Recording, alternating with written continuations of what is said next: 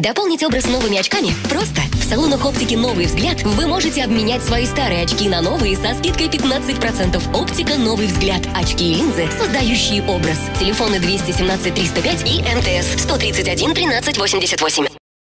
Здравствуйте! Вы смотрите прогноз погоды на первом независимом ЗАП-ТВ. Спонсоры прогноза погоды – «Оптика. Новый взгляд». Меняем старые очки на новые со скидкой 15%. Спонсоры одежды ведущие – магазины «Интимиссими» и «Кальцитония».